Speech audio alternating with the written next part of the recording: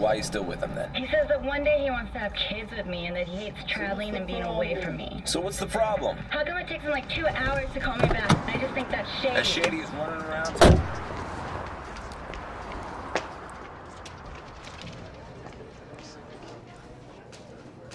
You're such a liar. Hey, No, no. hey, sorry. See this? Here you go. Oh. Hey, come on. Come on, come on. Don't Let's talk about me. this for one second. I'm done. Just for one second. Don't touch me. It's not what you think. Oh, really? Yes, it's not. Come on, let's talk about this.